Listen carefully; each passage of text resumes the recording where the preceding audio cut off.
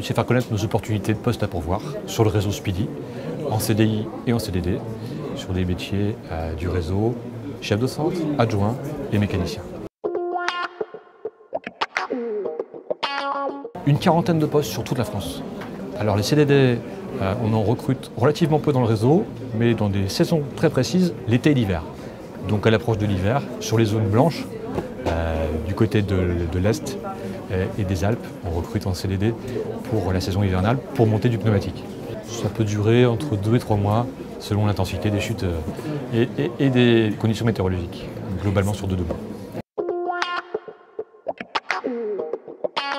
On recrute euh, sur des postes euh, de, de mécaniciens spécialisés, euh, des carrossiers en fait, qui euh, re- remplacent euh, du pare-brise et qui changent également euh, toutes les parties euh, lunettes, euh, arrière et puis donc des compétences spécifiques, essentiellement des carrossiers.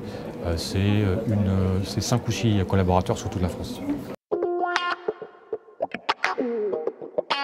Sur notre sourcing, on est en lien avec les relations écoles, hein, donc on forme beaucoup sur, avec les CFA, mais sinon un sourcing diversifié avec une présence salon et beaucoup de candidatures spontanées sur notre site internet, mais également euh, sur l'ensemble de nos centres euh, Speedy sur tout le territoire.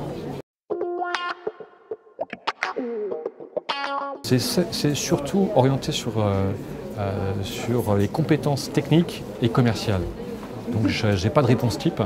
Euh, et en fonction du besoin et du centre, on peut être amené à recruter des candidats très compétents sur la distribution et l'embrayage, donc des compétences très techniques. Et sur d'autres centres, on pourra faire la place à quelqu'un de plus jeune avec un bac pro euh, qui sortirait euh, de son diplôme de CAP ou de bac pro.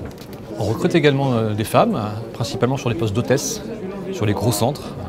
Les centres CSPD, c'est globalement 4-5 collaborateurs.